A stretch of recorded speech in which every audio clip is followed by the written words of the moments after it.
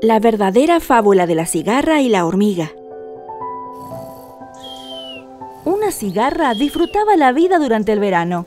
Día tras día se despertaba y se dedicaba a cantar. Hasta que un día algo le llamó la atención. Un grupo de hormigas acaloradas pasaba por debajo de su rama cargando pesadas porciones de comida sobre su espalda. Entonces la cigarra bajó de su rama y le preguntó a una.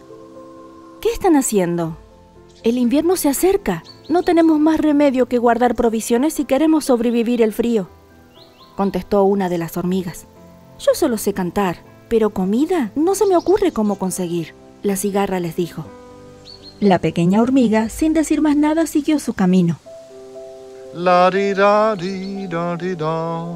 Todos conocemos cómo continúa la historia.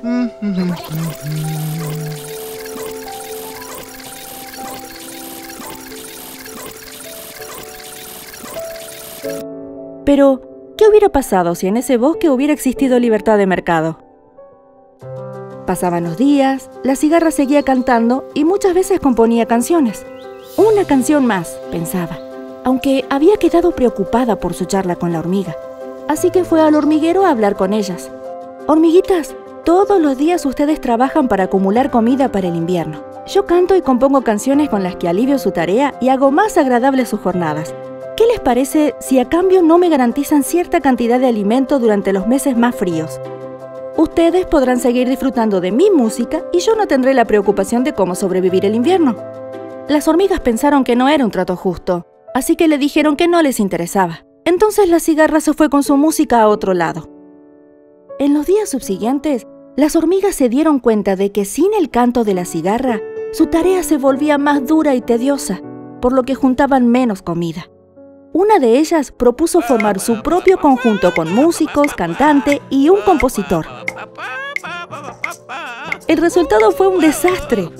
Las hormigas no tenían ningún don para la música, así que juntaban menos comida que antes, no solo porque algunas de ellas no lo hacían para dedicar todo su tiempo al conjunto musical, sino porque era desagradable escucharlas tocar y cantar lo que componían.